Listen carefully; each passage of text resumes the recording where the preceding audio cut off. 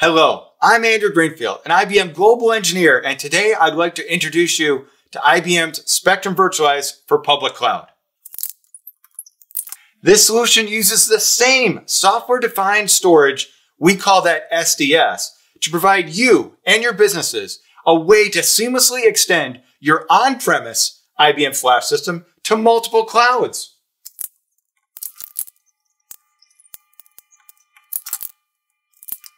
Or to use as an all-in cloud solution to manage and optimize your data on public cloud infrastructure, such as Microsoft Azure.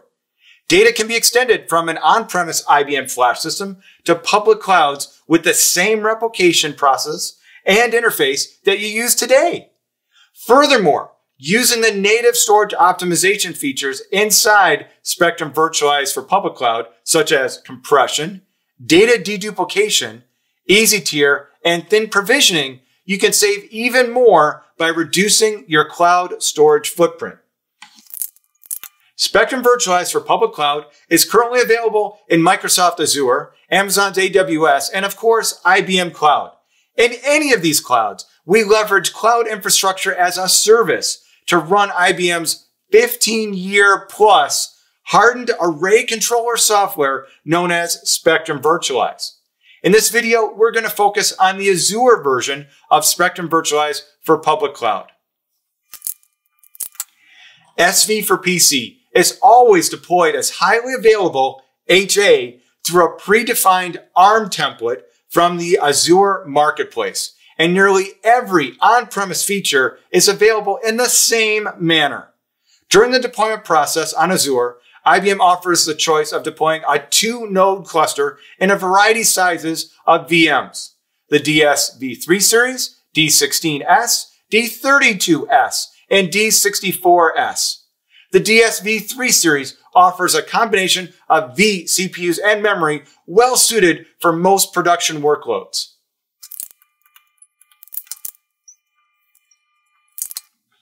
IBM also leverages Azure's managed disks for all data storage, which can be provisioned to Azure's host VMs or replicated elsewhere to other Azure regions and across multiple availability zones. Data can also be replicated back to on-premise deployments of IBM flash systems. SV for PC can leverage multiple storage tiers of Azure's managed disks to give you, our customer, performance and cost options for your entire enterprise. For example, you can choose between standard SSD and premium SSD depending on your application's IOP requirements or bandwidth needs as well as your budget.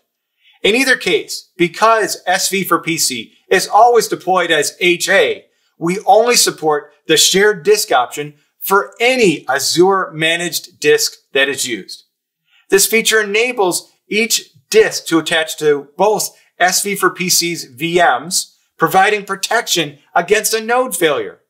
IBM also offers software features such as Easy Tier, which allows us to move data with low IOP requirements to lesser tiers of Azure managed disk block storage. Additional optimization capabilities mentioned earlier, like dedupe, compression, and thin provisioning, will further lower your monthly costs for Azure managed disk because the user interface and APIs of SV for PC are exactly the same on the cloud as on-premise IBM flash systems. This ensures that any automation that you might have built in to your existing process and procedures are exactly the same and can be repurposed in the cloud. For example, Ansible playbooks will easily reused with SV for PC on Azure or other cloud providers. Managing copies and snapshots on the cloud has never been easier if you're deploying IBM's Spectrum Virtualize for public cloud.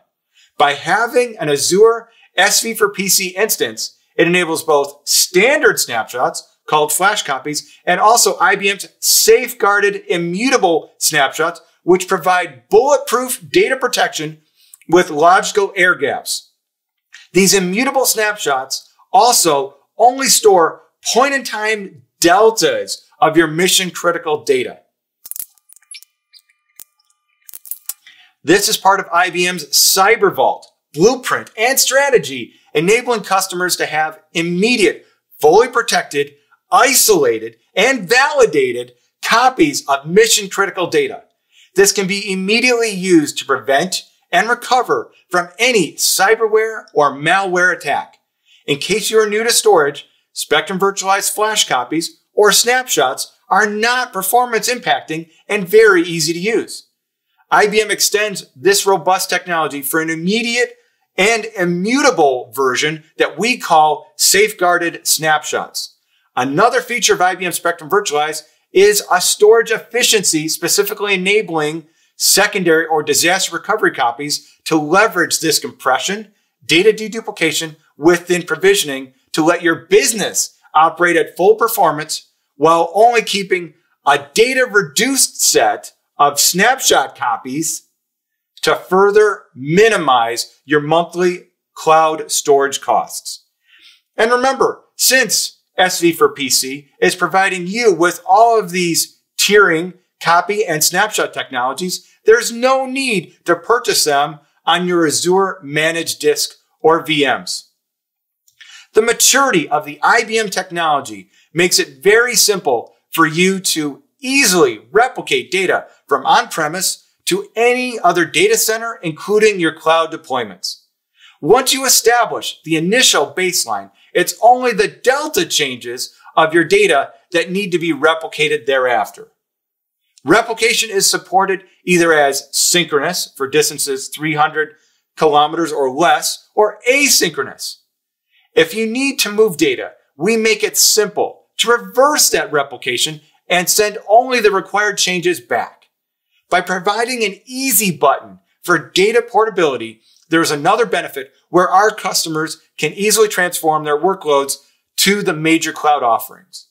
IBM uses the same operating system across all of these environments. This also provides for a huge savings in time as you can quickly deploy today and start replicating data within minutes without any retraining or procedure changes.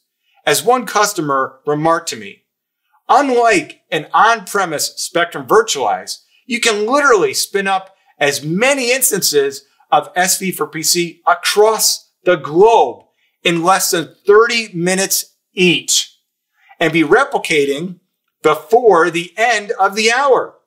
Now that is considerably faster than normal on-premise acquisition, provisioning, and deployment. By all means, please reach out to your local IBM business partner or seller and give Spectrum Virtualize for public cloud a try. IBM has free trial options as well as proof of concepts in addition to many redbooks, videos, and interactive tours available.